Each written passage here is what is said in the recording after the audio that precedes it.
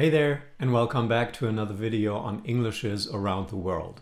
Today our journey around the world takes us to Australia and to New Zealand, so we're talking about English down under. The plan for this video is that I'll start with just a few details on how English came to Australia and New Zealand, which was in the late 18th century. So English down under is a relatively recent affair of roughly the past 200 years. The central part of today's video will focus on the main phonological patterns of Australian English and New Zealand English and specifically how you can tell the two apart. Yeah? What sounds distinguish Aussie English and Kiwi English? Stick around and find out because at the end we'll have four mystery speakers that you can try and identify as either Australian English speakers or New Zealand English speakers. Now, fair warning, uh, Aussie English and Kiwi English have a good number of features in common, so this is not going to be easy. However, there are a few telltale signs that you can look out for, and that will make it possible for you to make an educated guess. If you're ready, let's go. So, how did English come to Australia and New Zealand? English Down Under is a consequence of the so-called second diaspora that also started American English. If you haven't watched the last video in this series, which was about American English, there's a link in the description below, check it out. Yeah, American English started out a little earlier than English Down Under. The first settlements in Newfoundland and along the Atlantic coast were set up in the late 1500s, early 1600s. Australia came a lot later, at the end of the 1700s. Still, America and Down Under have a number of things in common when it comes to English and how it is spoken.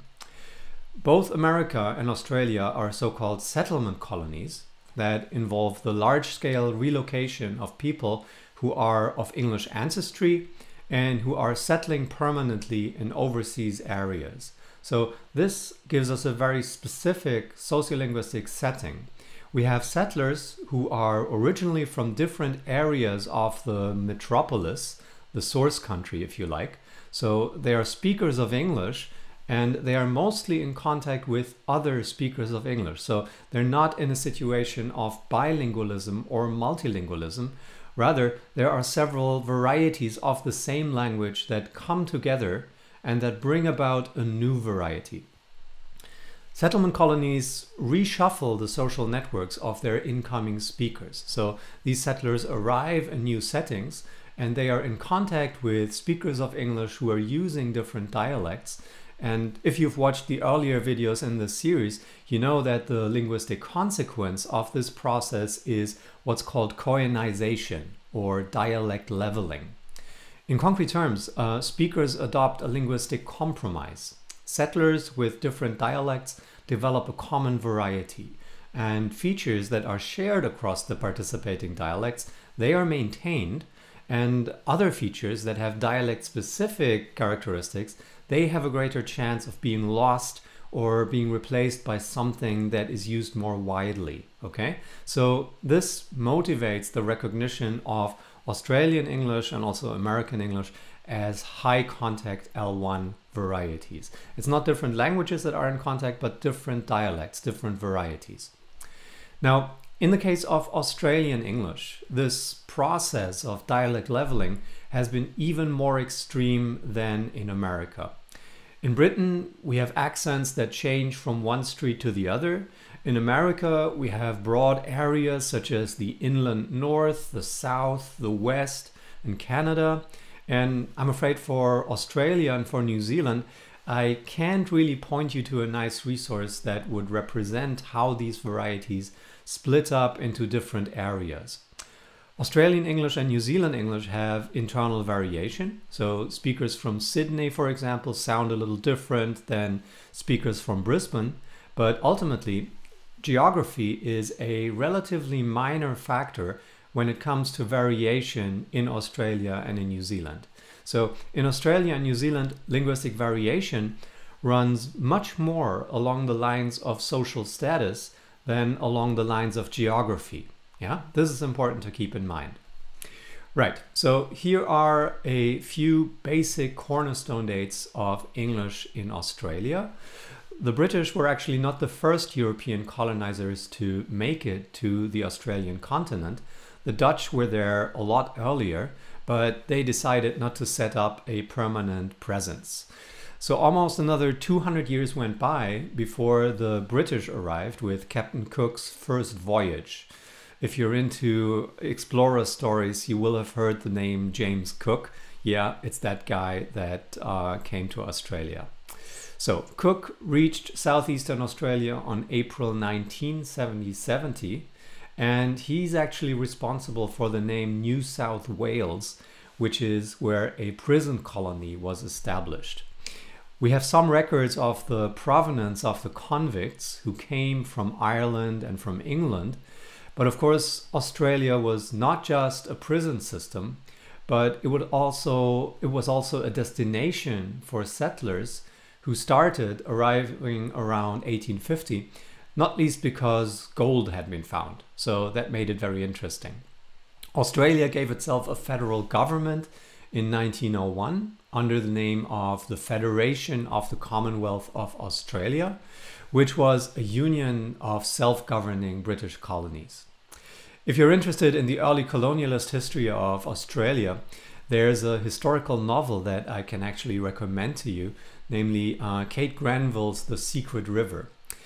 I can't really say I enjoyed the book because much of it is really heartbreaking.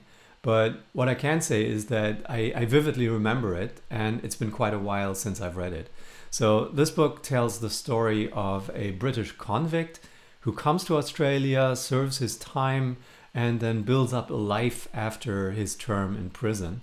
And what I found especially memorable are the encounters between the settlers and the Aborigines who are being evicted from their land. So, the book has very vivid descriptions of violence and terror. So don't say I didn't warn you. It's a great book, though. Check it out.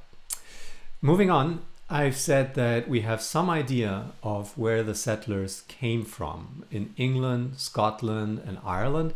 So the features of today's Australian English come from the varieties that were spoken by these settlers. However, I already said that koineization has been very thorough in Australia, so that social divisions are much more important than these regional differences of the early settlers. So, where you came from mattered less in Australia than whether you were inside or outside the prison. So, this has repercussions even for present day Australia, where a common distinction that you will find in the linguistic literature distinguishes three sociolects, namely broad Australian English, general Australian English, and quote unquote cultivated Australian English.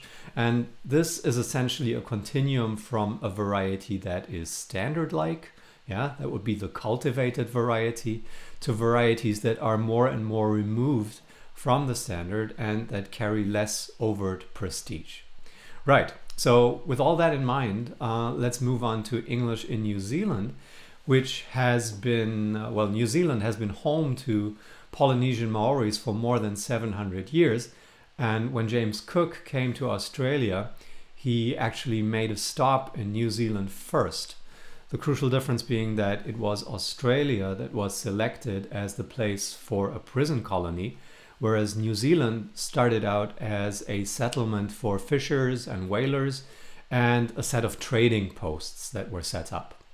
Now, predictably enough, there were continuous conflicts between the settlers and the Maori population, which were, however, settled in the so called Waitangi Treaty between the British Crown and over 400 Maori chiefs. This treaty uh, it's really interesting. I encourage you to Google it and check it all out. Yeah. So this treaty represents something of a founding document for New Zealand. Um, what's in that treaty? Well, among other things, the treaty gives the British Crown all rights and powers of sovereignty. So the Queen is the boss, yeah, essentially. But at the same time, the Maori chiefs retain their chieftainships meaning that their land cannot be taken away by anyone else. Um, the Maori people are further given the rights and protections of British subjects. And A year after signing the treaty, New Zealand became a separate British settlement colony, and in 1856 it formed its own government, while of course still being under the governance of the British Crown. Now, uh, not too surprisingly, the settlers that brought English to New Zealand, um, they had the same origins as the early settlers in Australia. But for New Zealand, we even know the rough percentages, so that uh, roughly 49% came from England, 22% from Scotland, 20% from Ireland, and 7% they came directly from Australia, so they had been settlers there first. I mentioned that in Australia there is a distinction between different social layers of Australian English, and in New Zealand this is quite similar. So in the literature you'll see people make the distinction between broad and cultivated New Zealand English. Right, that's all the background you're going to get from me today. So let's move on to linguistics and more specifically the sounds of Australian English and New Zealand English. What do these varieties sound like and how can we distinguish between the two? Let's start with Australian English and of course I brought you an example. Let's listen to this text. I'll hit play and we'll listen to it together. So with children, uh, we, we learnt that children think differently to adults. Um, so that's how we started thinking, well, how do they think? What's in their world? What, do, what, what are they interested in? And we put those in songs or, uh, you know, they're learning about moving their bodies, but let's make it so they so, do songs that uh, challenge them to move their bodies and enjoy it. You know, can you point your fingers and do the twist? Yeah, I can try that. Okay. Let's listen to this once more. So with children, uh, we, we learnt that children think differently to adults. Um, so that's how we started thinking, well, how do they think? What's in their world? What, do, what, what are they interested in? And we put those in songs or, uh, you know, they're learning about moving their bodies, but let's make it so they so, do songs that uh, challenge them to move their bodies and enjoy it. You know, can you point your fingers and do the twist? Yeah, I can try that. Okay, so there are a couple of sounds that I'd like to draw your attention to. And the first of these is the kit vowel, okay? You've seen these uh, vowel diagrams before. If you haven't, check out the earlier videos in this series. So the kit vowel is uh, the vowel that we find here. It's a high front vowel. And in Australian English, it is further fronted than you would find it in, let's say, British English or American English. So the kit vowel obviously is the vowel that you find in the word kit, but also in the words fish and chips, think, bin, and so on and so forth. So our speaker uses the word twist, which is where you can hear this very nicely. So let me let me play this to you and look out for the word twist. Can you point your fingers and do the twist? I'm gonna play it again. Can you point your fingers and do the twist? Okay, so when I say twist, well, it sounds like that, twist. But uh, our speaker here uh, pronounces it more like twist. Yeah, I'll play it again just so you can make sure. Can you point your fingers and do the twist? Yeah. Okay, so this is kit fronting, and that's a very characteristic feature of Australian English. Uh, for me personally, fronted kit is really the telltale sign that I'm talking to a speaker of Australian English and I can only recommend it to you to, to listen out for this feature. Moving on, um, Australian English has more vowels that are fronted and here we're looking at the mouth diphthong. You remember from the video on British Englishes, yeah, we looked at the Scottish realization of mouth and uh, here we have something similar. The starting point of mouth in Australian English is not a low ah, but rather a more fronted eh. Yeah, so it starts in the territory of the trap vowel. And you can hear this, for example, when our speaker pronounces the word how, yeah, which is not how exactly, but more like how. Uh, I'm going to try and play this and you can listen to it. How do they think? How do they think? How do they think? How do they think? Okay, so this is how do they think? And to me, it really sounds like how do they think? How do they think? How do they think? How do they think? Yeah.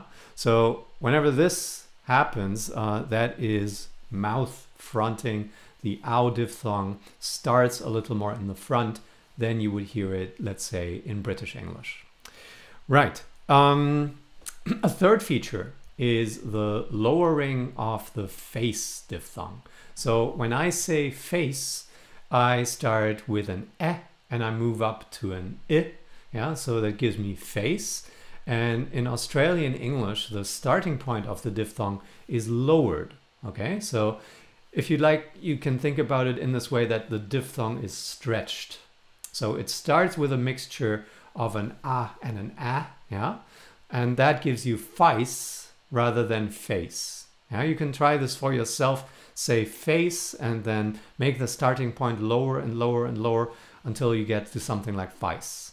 Okay, uh, let's listen to what our speaker does here. Let's make it. Let's make it. Let's make it. Okay, the speaker says let's make it, but it sounds more like let's mic it. Let's make it. Let's make it. Let's make it. Okay, it's not quite mic, it's not quite make, it's in between. Yeah, it starts somewhere in the trap vowel territory. Let's make it. Let's make it. That is the lowering of face. Um, there's another diphthong that changes in the front, uh, and that is the price vowel. Now, um, face was stretched out, and for price, the opposite is happening. The price diphthong is compressed. Uh, its starting point actually doesn't change, but its end point is a lot lower. So this is almost like I monophthongization, which I talked about in the video on American English, except that this here is not quite a monophthong, a single vowel, but there is some upward movement from an a to an e. Yeah, so it's not price, but it's more like price. Yeah, starts with an a, goes to an a, price. Uh, let's listen to our speaker. Yeah, I can try that. Yeah, I can try that. Yeah, I can try that. Okay, the word is try, and it's not try, it's try. Yeah, I can try that. Yeah, I can try that. Okay, now you hear it. So the lowering of face and the lowering of price, they actually go together because if you lower face, it sounds more like price, yeah, the vowel. And so price has to change in order to keep the distinction between face and price. And so that's how you end up with one diphthong that is stretched and another diphthong that is compressed. There's one more vowel feature that I want to mention, uh, let me see here. And uh, that is the diphthongization of the fleece vowel. In Australian English, there's quite some variation with regard to the realization of the fleece vowel. And I actually talked about this in the very first video of this series, so you might want to go back and check that out. But uh, one characteristic realization of the fleece vowel in Australian English is the breakup of fleece into an onset vowel that is more of an e, and that then moves up to an e. Let's listen to our speaker here and what uh, what is happening here. Please. Okay, so this is another speaker because in the um, in the text that uh, I had of the main speaker, there wasn't a good fleece uh, example, but this is a different one, also from Australia, and she is uh, producing the word pleased. Please. Okay, and it really sounds more like pleased. Please. Yeah, but it's meant to be an E, yeah, the fleece vowel. Diphthongization of fleece, you'll hear that a lot in Australian English. Okay, so also this is connected to the two other diphthongs that are in the front of the vowel diagram. So basically in Australian English, there's this chain of front diphthongs that make it really, really characteristic. Fleece is diphthongized so that it sounds more like a, face, yeah.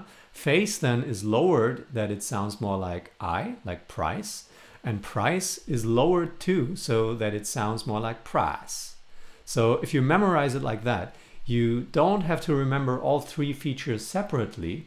you can see their connections. Yeah, so just start with the diphthongization of fleece and then work your way down um, with uh, face and price, and you have all the three features memorized.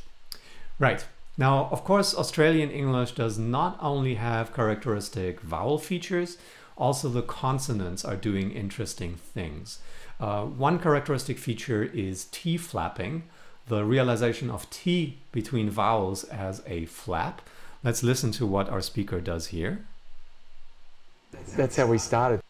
That's how we started. Yeah. So it's not started, it's started. It's not butter, it's butter. It's not important, it's important. It's not computer, it's computer. That is T flapping. One thing that is perhaps too obvious to even recognize, but nonetheless I want to mention it, that's that Australian English is a non-rhotic variety. So there's no post-vocalic R. Uh, we just heard this in started. So let me play this again. That's how we started. That's how we started. That's how we started. Yeah. And the same in important, computer, things like that. Okay. So that gives you an overview of some of the most recognizable Australian English sound features. Um, let's compare this to the sounds of New Zealand English. Here's an example that I'd like you to listen to and uh, you will find it easy to hear that this is an example of the so-called cultivated New Zealand English variety. Let's listen to this. I think it's a question of not if but when, but the time is not now. In the opinion surveying done on it, about 40% are saying yes, New Zealand should become a republic, but of course that leaves about 60% uh, who are not saying that. Now, in time, I think there will be a generation which will address the issue of New Zealand having its head of state uh, formally based in New Zealand. But Kiwis are kind of practical people. If it ain't broke, don't fix it, is the general attitude. Uh, their attitudes, I think, towards the present Queen are, are very benign. And okay. Um, I think you caught a few features already that stand out. Um, let's listen to this again, and after that, we'll go through the individual sounds that make this similar to Australian English and different from Australian English. Let's listen. I think it's a question of not if but when, but the time is not now. In the opinion surveying done on it, about 40% are saying yes, New Zealand should become a republic, but of course that leaves about 60% uh, who are not saying that. Now, in time, I think there will be a generation which will address the issue of New Zealand having its head of state uh, formally based in New Zealand. But Kiwis are kind of practical people. If it ain't broke, don't fix it, is the general attitude. Uh, their attitudes, I think, towards the present Queen are, are very benign. And okay, so you will have noticed that there are a couple of similarities to Australian English. The variety is non-rhotic, so no post-vocalic R's. There is T flapping, so it's attitudes, not attitudes. There is recognizable lowering of face to face, yeah, so um, head of state, yeah? not head of state, head of state. Um, and um, mouth is fronted to mouth. So all of these features Australian English and New Zealand English have in common. And that makes it quite difficult to distinguish between the two if you're not 100% sure. Now, uh, at the same time, there are also important differences that I want to talk about. One very distinctive feature is the raising of eh in words such as pen. Okay, so this is the, the dress vowel uh, that is being raised. And from the video on American English, you remember maybe uh, that there's a thing called the pin-pen merger. So speakers who pronounce the word pen as pin. This here is similar, but not quite, okay? It's not a merger. In New Zealand English, the i does something else. So the two sounds are not the same. They're not merged. They're different. Um, let's listen to the pronunciation of our speaker with regard to the vowel that we have in pen. About 40%. About 40%. about 40%. Okay, the word here is percent, and she doesn't say percent. She says percent. About 40%. About 40%. About 40%. Up 40%. So this is quite characteristic. You'll hear this a lot, and that is a very characteristic telltale sign that you are hearing a speaker of New Zealand English. Okay, um, so eh is raised, and I said that uh, the i, the kit vowel, is doing something else, namely it is centered. This is another highly distinctive feature of New Zealand English. Kit moves towards the center of the vowel space and comes out somewhat more like kut. Yeah, this is not really a full-scale u. Uh, it's just more centered. Let's listen to our speaker pronouncing the word fix. Okay, when I say fix, uh, you hear a kit vowel. Um, the speaker says, if it ain't broke, don't fix it. And I want you to listen out for the fix. If it ain't broke, don't fix it. If it ain't broke, don't fix it. If it ain't broke, don't fix it. If it ain't broke, don't fix it. Okay, so you hear that the kit vowel is not quite there in the front. It's centered. Yeah, it sounds a bit, um, yeah, more like an uh than an i. Um, okay, do you remember what happened to kit in Australian English? There it was fronted, right? So this is a feature where Australian English and New Zealand English move in opposite directions. And that makes it one of the features to look out for when you want to distinguish the two varieties. So um, kit is centered, dress is raised to kit, and that means that in the space where dress was, there is now a vacuum, so to speak, and that is where we find another distinctive feature of New Zealand English, namely the raising of trap, which sounds more like dress. Okay, so trap is raised. Let's listen to the way our speaker pronounces the word attitude. Listen to the initial vowel, okay? When I say attitude, I produce a trap vowel, and our speaker does this here. Latitude. Latitude. Latitude. Latitude.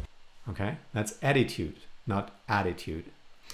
Um, right, so we have these three vowel changes going on in the front of the vowel space, and you can actually think of them as something of a clockwise movement. Okay, so trap goes up, eh is raised to i, and then i moves in center, pretty much like the hand of a clock that starts around seven and then goes around. Yeah.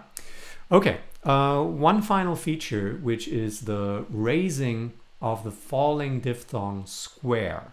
Yeah. Square. Um, the crucial part of it is air. Yeah. Um, now, um, in Australian English, this uh, air diphthong gets a higher starting point, which is why it's also called the near square merger. So if you try to pronounce the word square with the diphthong that you have in near, you get something like square. Yeah, so that's how a New Zealand English speaker would pronounce the word square. And it's not just called the near square merger, it's also called the uh, cheer chair merger. Because if you ask a New Zealand speaker what you see in these pictures here, you get two times the same answer. Yeah, they're cheers. okay, so that's the near square merger or the cheer chair merger. And uh, now we're getting to the moment of truth. Can you hear whether a speaker is an Aussie English speaker or a Kiwi English speaker? Let's see. Um, features to look out for? Well, I've mentioned a couple of features that are common to both varieties, like T-flapping, the lowering of face and price, and the fronting of mouth. Um, where it gets interesting are these differences. So the fleece vowel, Australian speakers diphthongize it. If you hear that, that's a good telltale sign. Kit is a very important vowel to look out for because in Australian English it's fronted, in New Zealand English it's centered, and um, essentially every uh, student presentation of Australian English and New Zealand English has an obligatory element, namely that you have to pronounce fish and chips once in Australian, so that would be fish and chips, and once in New Zealand English, that would be fish and chips. And uh, this is something that you need to look out for.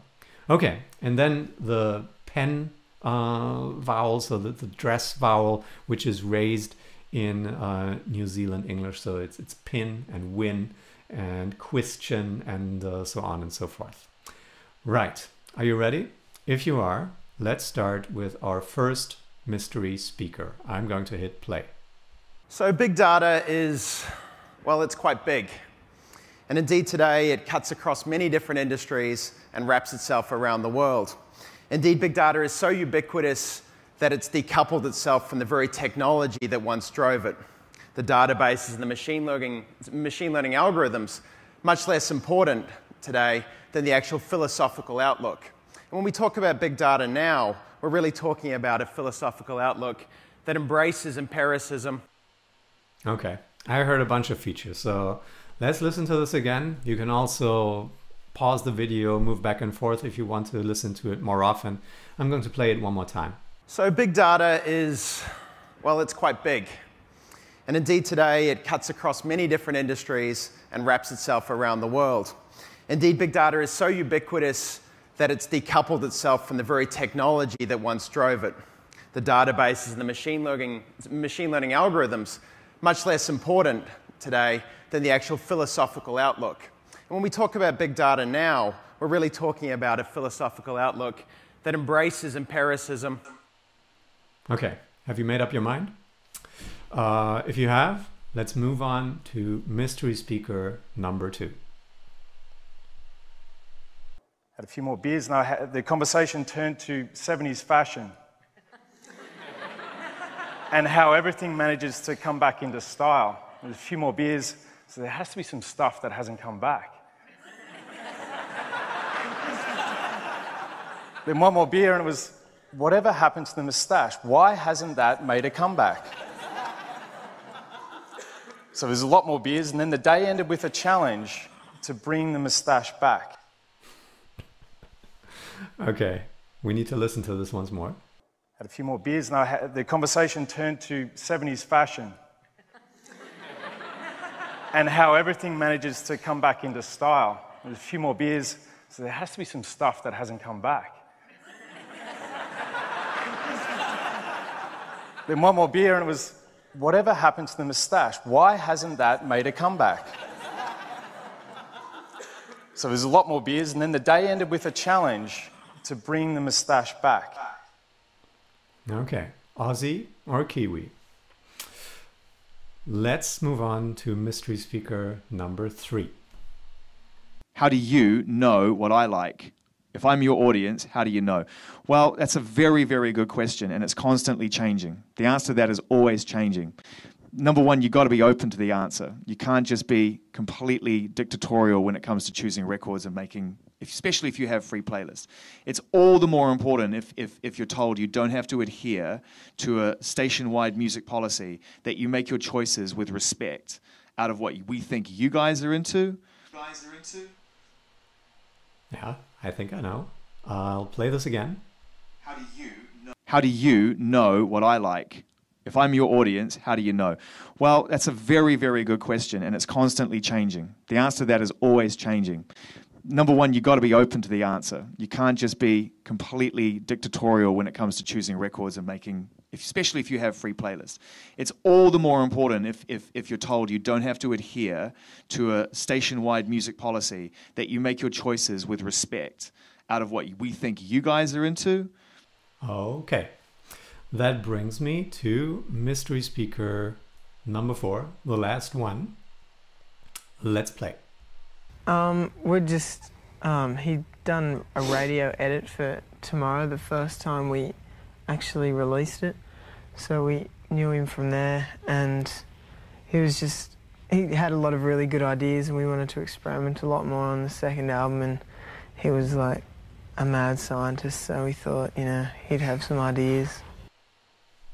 Hopefully, yeah. Uh, let's listen to it again. Um, we're just um, he'd done a radio edit for Tomorrow the first time we actually released it. So we knew him from there, and he was just, he had a lot of really good ideas, and we wanted to experiment a lot more on the second album. And he was like a mad scientist, so we thought, you know, he'd have some ideas. Okay, excellent. Um, if you've got your notes and you've got your guesses, we can move on to uh, the mystery speaker reveal. Yeah, so here's the first one. Who is a Kiwi? Yeah, uh, Sean Gourley, a physicist. Uh, the sound example I took from an interesting TED talk that he has given. And among the features that we hear in his speech, we have the famous centered kit vowel. So this is him pronouncing the word empiricism. Empiricism. Empiricism. Empiricism. No, it's empiricism. Empiricism. Okay, I'm not arguing with a physicist.